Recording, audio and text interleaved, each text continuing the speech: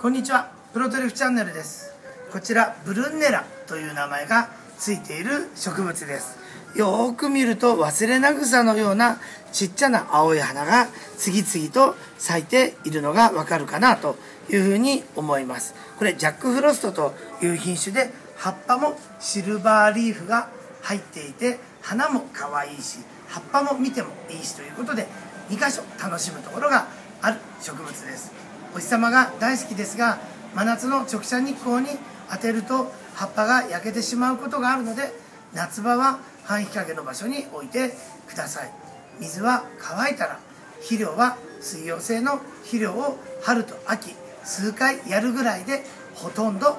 肥料はやる必要はありません。冬は地上部が枯れてしまいますが全部枯れてしまうわけではないので時々は水やりしてやらないと枯れてしまうということもあるのでその点も気をつけてやるといいと思います。ゆっくりゆっくりですが毎年少しずつ大きくなっていっていっ